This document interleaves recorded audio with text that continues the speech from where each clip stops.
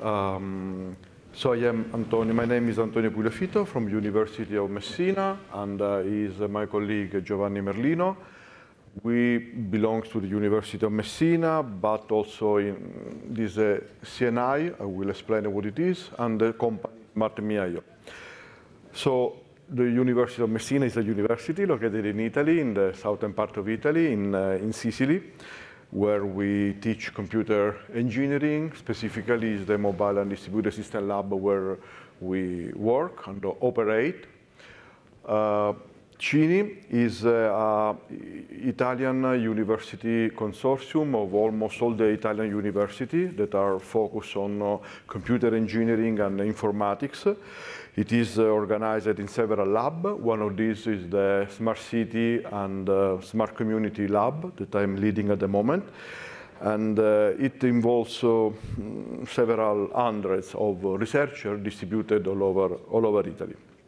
Finally, SmartMe is a company that was originally created as a, spin-off company of the University of Messina. Now it's a company on the market.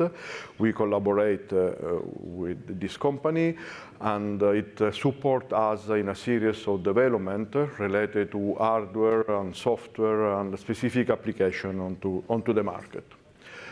This is the location of the company, the new building where uh, uh, the people transferred about uh, six months ago. Okay, so the outline of this presentation is the following. We will discuss about uh, edge computing, uh, specifically some hardware named Arancino, and I will try to give you indication about this uh, hardware. Then uh, we will go on details related with the software part, that is uh, the Stack4Things framework, that is strictly related with OpenStack. And uh, we will also give you some uh, example of application that we are doing at the moment on some smart cities and industries. So the hardware. Um, the problem that we try to solve is uh, how to deal with a huge amount of sensors, uh, actuators uh, distributed around, and also mobile phone device that uh, they have some uh, computing capability and storage capability, and we want to consider them part of the infrastructure. We are firmly convinced that boards, camera, sensors, actuators should be considered since the very beginning as part of the infrastructure that you have to create. So the infrastructure will involve uh, uh, computing resources, uh, will involve storage devices, networking issues, but also IoT because nowadays uh, sensors and actuators are part of the system that we have to set up, uh, and then we will develop uh, services on top of it. So the problem is how to deal with these devices. Cooperating with this company, the family of Arancino boards has been developed, mm, the one that you see there, but there are uh, several uh, uh, versioning, uh, and we will show you the real mm, objects we are uh, with us. And uh, the idea that is behind these boards is to try to emulate the way in which our brain works. So on the same board, you have uh, two hemispheres, two parts. One is based on a microcontroller that is uh, able to interact in real time with the external world, that means the sensors and the actuators. The other side instead is uh, based on microprocessor, like in this case is a Raspberry Pi that you see here, but there are also other possibilities there, more powerful, that is able to um, work with this data to store this data, to keep memory of the past. And according to the past, also try to predict what is going to happen in the future. So this is the two hemispheres that are represented in this way on this, uh, on this kind of board. That has also some other interesting capabilities like these uh, expansion slots uh, that are conform to the to the um, standard. Um, there are hundreds of possible expansion available on the market, these click standards. Uh, others can be created. So this is the basic board, and then you can specialize in and adding some dedicated hardware. So this board is used in some uh, products like uh, environmental monitoring station, gateway LoRa, smart camera, uh, noise detector, and more that are products based on these components. At the same time, you can have a different communication channel here, like uh, UMTS, LoRa, uh, Sigfox, uh, LTE, uh, and more, so at the same time enabled to interact with the board itself.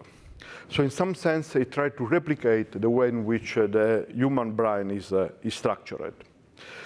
Uh, on the other side, we have to control these boards. So the problem is uh, how to have uh, thousands of these devices distributed around, uh, how to interact with them. They create uh, a sort of a fleet of devices, and you want to talk with them, to specialize, to inject code, to receive the data, to group according to the specific problem that you have to, to solve. And typically, the approach that is available in, is the following. You have the device, the device generates data, this data are stored in the cloud, and then I go and look at this data. This creates a serious problem with regard uh, uh, the latency, for example. So in several applications, it is not uh, uh, convenient and possible to use this approach. In some cases, we have some API available that can be used to interact with the device, but it depends on the producer, the developer, or the board, if it makes them available. Um, so in some limited cases, this is possible. As I said at the beginning, what we want to do is to bring uh, the edge devices inside the cloud and consider the same level of computing, storage, and networking resource to build the infrastructure we are interested in. Uh, so what we want to do and what we are able to do is to have uh, edge devices uh, physically connected to uh, different uh, uh, local area networks that interact with the cloud. And I can mix devices from one network, with devices with another one, with virtual machine, with storage uh, resource somewhere. I create my, uh, my infrastructure, and then I deploy the services on top of it. So this is what uh, we are trying and we are able to, to do. Uh, we will explain how it works.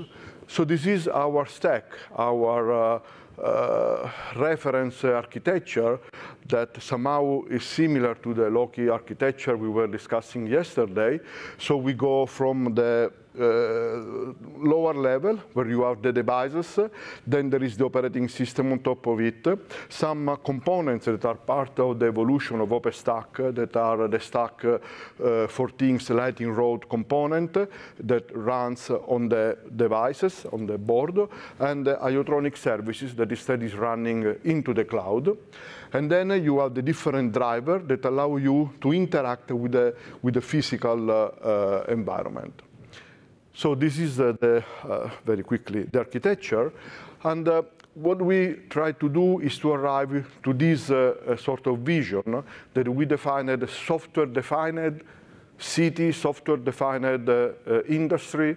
That means uh, a full abstraction that goes from the physical layer, where you have the sensor, the actuator, the detect data from the city or from the industry where you're working, and uh, they generate data that are managed according to board like this one they have a counterpart, a virtualized representation inside the cloud, where they mix with the other resources of computing and storage and provide the services and application to the final, to the final user. For doing this, OpenStack has been extended with a fourth pillar that we name uh, Stack4Things. This is where you can find it, where it is available that adds the capability to interact with edge devices, okay? And uh, what we will try to do now is to give you more details uh, related with the uh, way in which uh, we implemented this uh, interaction with, with OpenStack. And I will leave the stage to Giovanni. Thanks, Antonio. Uh, so, um, first of all, a, a, comment about the previous slide. Uh, it's important to say uh, settle on the uh, naming because we have both this IoTronic namesake and Stack4Things. The reason for that is that, uh, uh, as you can imagine, especially uh, in, uh, in, the in, the industry, in, the, in our company, um, in our spin-off company, we have a bigger, deeper stack, which includes lots of application level logic. So Stack4Things is a kind of a namesake uh, because we we try to, to keep it, uh, say, cool also because it's still always open source uh, software, but it's uh, somehow a larger umbrella project. IoTronic is uh, what we are focusing here right now uh, on because it's really the um, subsystem for IoT as written there. So it, is meant to think about IoT devices as, again, OpenStack compliant resources uh, to manage. So, okay, this is a very high-level overview of the architecture just to, to know which is uh, what. Uh, we have uh, the, the IoTronic, uh, say, uh, main components which stay in the cloud, in the data center, let's say. then we have a number, of course, of interfaces, CLI, of course, the, the custom panel for Horizon, uh, all the, the things that we know are, are, are needed, of course, in, uh, in the uh, case of OpenStack subsystems, but there's something special, which is in particular so-called lightning rod. It's the name we have given to the device side, the board uh, hosted agent. And uh, the, you see a number of uh, arrows depicting the fact that we have a number of uh, uh, elements at play, as we'll see in a moment, uh, for the communication between the cloud and the far edge constrained node. So mm, this is uh, a depiction of uh, the uh, IoTronic architecture on the cloud side. Um, as we said, it's a very OpenStack compliant subsystem actually, to be honest, even the namesake uh, somehow can bring you some memories. Uh, it started uh, all as a kind of a fork, unofficial, uh, say, uh, atom fork of Ironic. Why? Because the idea was to really tackle uh, the boards as bare metal first, and then enabling all other kinds, as we'll see in a moment, of workloads, for instance, containers, later. So uh, uh, on the device side, there's lightning rod, and uh, uh um, lightning rod interacts uh, with the cloud uh, mostly, foremost, with through uh, uh, the WAMP protocol. Uh, WAMP is not the Windows, etc. kind of acronym. It's actually Web Application Messaging Protocol. It's a sub-protocol of WebSockets. Is somehow standardized in the sense that there's a draft RFC, and it's um, interesting for a number of reasons. There's no time here to, to discuss about that, but uh, it's, it can be thought as a, a, protocol akin to MQTT, which uh, most of you know is quite popular in the IoT space, but it's uh, a kind of more advanced, more featureful uh, protocol, and uh, bonus point is based on uh, WebSockets. That's very important because, uh, uh, I guess we'll see later, but you can possibly guess we based this kind of, of communication on WebSockets because the idea is that uh, the, the, board should be able to call on, so to call really the IoTronic uh, cloud anytime, anywhere, behind any kind of constrained, very uh, corporate-like kind of network. So uh, to be clear, as you'll see later, Antonio will uh, show you some uh, uh use cases. Uh, we talk about situations where really uh, most other systems that try to control and to interact with boards are uh, break, are not able to, to really do what they need to do. Uh, so it's kind of battle tested. And uh, okay, there are a number of functionalities, but we'll uh, get to that later. So for instance, okay, yeah, plugins. Uh, mm, why plugin injection is, uh, first of all, what is a plugin? Is just a namesake for um, an amount, of course, of code that we can inject at runtime on the board. Why it's important? Because this notion of plugin, plugin injection has been the first uh, way, first method for us to uh, be able to customize uh, the, the, uh, the, business logic, let's say, the inner workings, but even, say, lower level software running on the boards where, when deployed in the field. Again, in the field means maybe in the middle of the sea. So that's, uh, that's the point. Uh, there are two kinds of uh, plugins, uh, synchronous and asynchronous. As you can expect, the idea is that you can either, of course, uh, make a kind of uh, RPC style uh, call, or you can instead just uh, uh, poll and check what is the status of the, the run. and by the way, this kind of duality, synchronous asynchronous, is really enabled by the WAMP protocol. Uh, the WAMP protocol has so-called routed RPCs and the routed pub/sub. That's why I said it's a kind of a superset of MQTT. Uh, okay, about tunneling and forwarding, uh, which is, again, not the only, but one of the foremost features about IoTronic. Uh, it starts by questioning what we want to do with the boards we, we uh, uh, in uh, the most general way, we expect to be able to create virtual networks spanning, of course, domains spanning, of course, geographic distances and connecting IoT devices.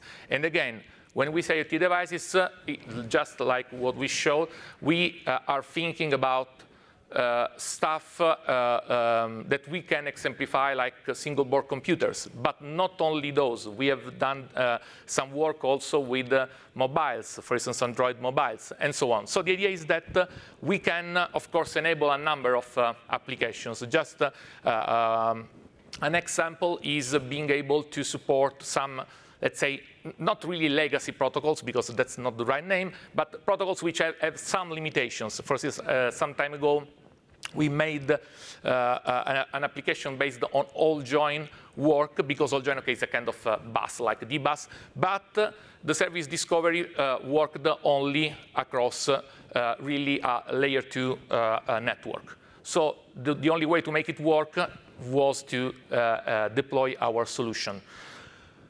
Um, okay, this is a very quick overview of how uh, uh, you can break down uh, the networking part. Again, we didn't want, uh, that's our approach in general, we didn't want to uh, uh, put the so-called kitchen sink into IoTronic. We thought that everything should stay where it belongs. So of course, this means involving Neutron, because Neutron, of course, has lots of uh, functionalities in this sense. Uh, we also uh, have been uh, careful not to uh, overload devices. So, uh, for instance, the, the, the, footprint of our solution based on IoTronic plus Neutron is um, very lightweight because what happens is that the, the um, device doesn't know anything about the, the, the, existence of Neutron. Neutron does everything on the cloud, and we just get the wire, really, the tunnel, back to the uh, cloud to instantiate interfaces and then assign IPs and so on. Uh, okay, the kind of uh, uh use cases, of course, are, are mm, many segregating, of course, devices on the same physical LAN or some, uh, uh, uh say, kind of uh, uh, local area network, or grouping dispersed devices in the same overlay, creating networks that combine devices on one end and virtual machines or bare metal, whatever, on the data center and uh, even putting up together very, very heterogeneous devices. Board on one side and, let's say, mobile on the other. Uh, so the forwarding of services was another key point. So being able not only to always uh, uh, uh be able to reach the device, to send commands as we said, we can send RPCs. So let's say not just sensors, but actuators are totally part of the picture, as Antonio told you before. So the, the concept of uh, uh, um, cyber physical system uh, uh, in full. and um, um, also exposing services through service forwarding that works by a complex system that involves it is complex on one end, but it's simple on the other, where simple matters. On a constrained device, simple matters in terms of having composable, very Unix style kind of tools.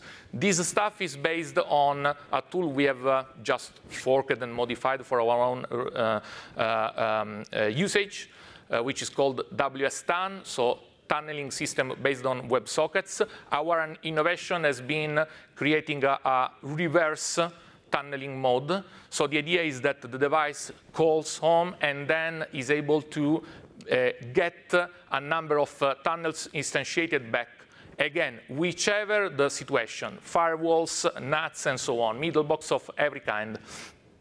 But also, it works by piping TCP or UDP connections. So what happens is that, uh, uh, and also using other uh, small Unix style tools. For instance, we have used here also socat that maybe you know as a tool to instantiate virtual interfaces. Um, then uh, uh, discussing about forwarding is just a kind of uh, uh appetizer for a kind of a huge use case, which is the, the web of things. Some people call it web things. Uh, uh, you may know already that uh, Mozilla was behind this, um, say, initiative some time ago. Uh, at a certain point, it transitioned to a third party, but it still is um, an open source and open community uh, framework.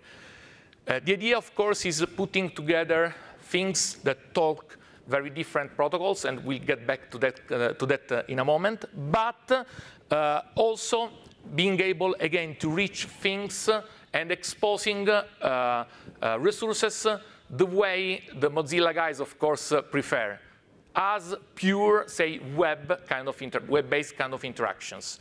and of course, we like it too. In fact, we have enabled that over uh, these other uh, implementations, so adding some other elements. In particular, we have used Nginx, that maybe you know, as a reverse proxy on both sides of the connection, so on the cloud side and on the board.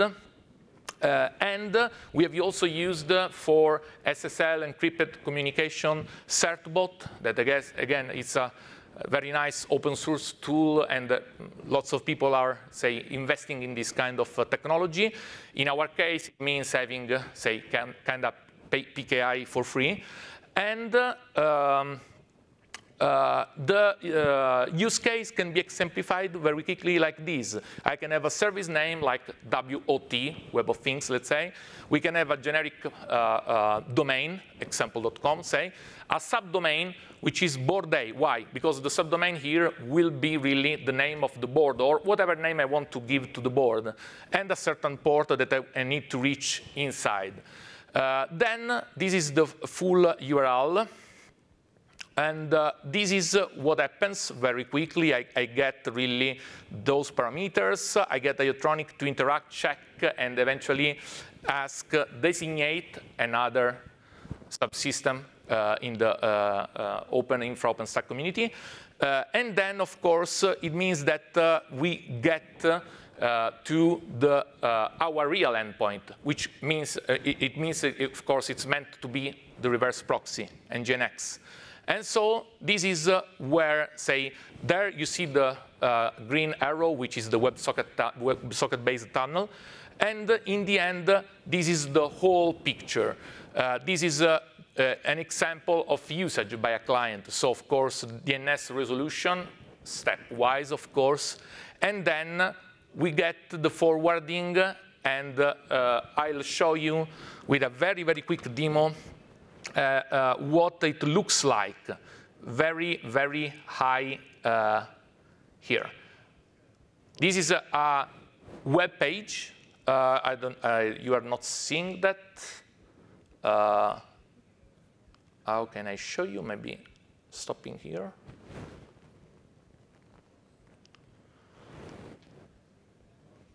Now you see it. OK.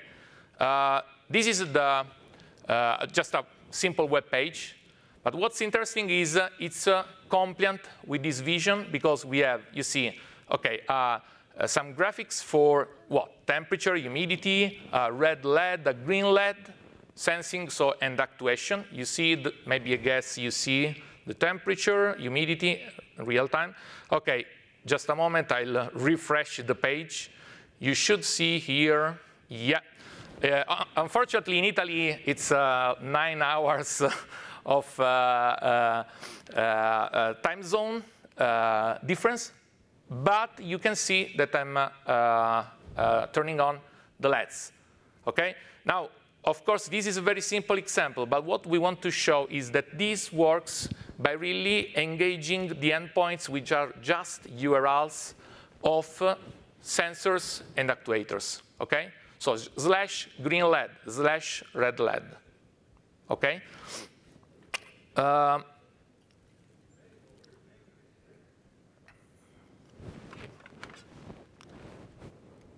and we want you to play with it as well. If you want, you can just check it yourself.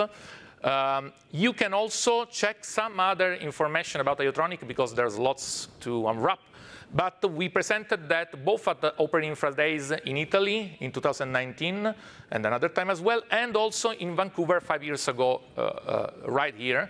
So if you want to know some more information about virtual networks and plugins, you can check that one in Vancouver, and the one in Italy for containers and function as a service, which is, of course, I guess, very interesting for all of us, but there's no time and space to talk about that today.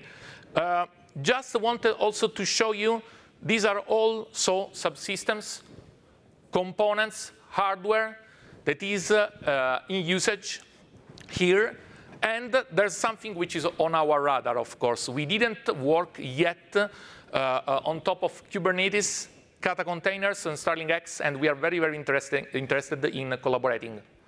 And uh, about collaborations, by the way, I'll uh, get back to Antonio.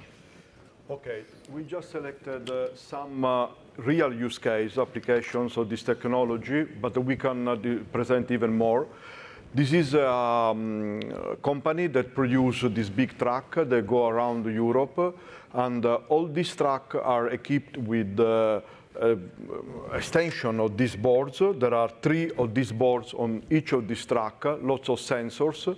We collect in real time about 60 different parameters uh, that are used to monitor the device itself and to make also some preventive maintenance. So they recall the truck back if they realize that there is something strange. Uh, and these are some of the things that you can do, apart actuating all the different uh, opening, close uh, of this big truck. It's amazing because with a cellular you just move this track and you do lots of things. And uh, on the other side, you have uh, the telemetry related with the different parameters, and of course, location, position, acceleration, if you brake, how you use the track itself. At the moment, we are controlling roughly 300 of these devices going around uh, Europe. Uh, this is uh, instead uh, a different application because that one was related with with the industry, but we have uh, some uh, use case with uh, uh Stellantis, with uh, Ferraris, where we use this technology to monitor some production chain. This is an example instead of a smart city where uh, this is an area of Milan that is named Lorenteggio, and we are, we are using, it's already sold, running, uh, this technology to integrate 13 different uh, subsets of uh, sensing device produced by different producer. So there are uh, noise detector, uh, smart parking, um, flow, vehicle flow detection, um, uh, environmental monitoring station, and many other services, all integrated with one single dashboard where the uh, employee in the municipality can take under control a big area of Milan. Uh, just to conclude, collaboration, uh, we are uh, cooperating a lot with INRIA in Paris, where there are some researchers working on this technology. Together we have this uh, the XMS project that is a sort of integration of different kind of communication protocol under the same umbrella. So it's an extension of what we are explaining here. And these are two projects uh, recently approved. One is an European project named SLICE PP that involves uh, almost all the European countries. And the idea is to create a federation of uh, research infrastructure that will be used by researchers on one side and industrial industry on the other. Um, on the other one, the SoBigData project, instead, is an Italian project that is related with SLICE. So SoBigData brings the money to create the infrastructure in Italy. And uh, so this is why they are related. And inside SoBigData, we are developing this uh, virtual lab on pervasive intelligence in cyber physical system for future society that will be the Uh, infrastructure in Italy that will be federated with the other one in the other countries. So these are uh, long time project. SLICE uh, uh will be over in 2040, so it's a, a, long vision project. And SoBigData study is a four-year project. So under SLICE, there are several kind of specific projects that will be activated year by year to create the big picture of SLICE. Okay, future work. We have been approved this uh, book, so we are writing uh, this uh, book, uh, and uh, very. We hope to complete by next year, 2024 and the title will be Assembling Smart Cyber Physical Systems, Heterogeneous, Diffuse, Green Technological Infrastructure for City and Industries, where we will try to put together in a comprehensive way all the different technology that uh, we try to introduce to today in a more extended way. Uh, so this is something that we are, that we are working on. So thank you very much. and. Uh, if there are questions, of course, we will try, we will try to answer. Thank you.